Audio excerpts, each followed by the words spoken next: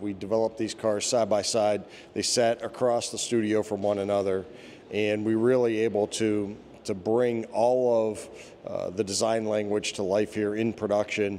And she can go through some of the more detailed differences, but the thing about this car that is really even almost better than the than the concept car is everything that you see that's metal looks like metal is metal. This header piece is a piece of art.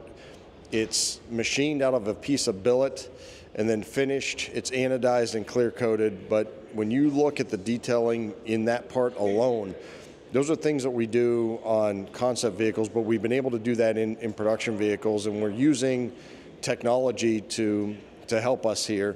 Uh, from there's six major castings, aluminum castings that make up the body.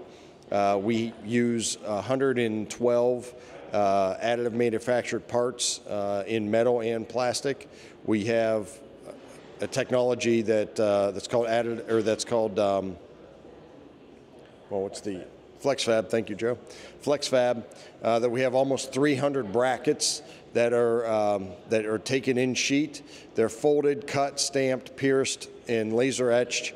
And that's how we're doing brackets and, and other pieces on this vehicle. And then there's a whole host of other technologies that we're using from a from a manufacturing standpoint.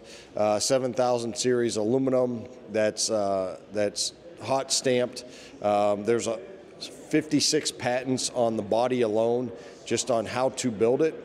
And that really has enabled us to bring the concept to life. It's marrying technology with design and form and function blending together.